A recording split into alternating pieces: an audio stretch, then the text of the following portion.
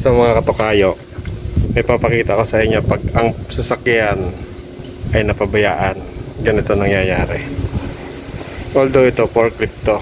Forklift yan. Pero pwede mangyari ito sa kotse. Madalas mangyayari ito sa mga walang pakialam sa makina. Gamit lang ng gamit.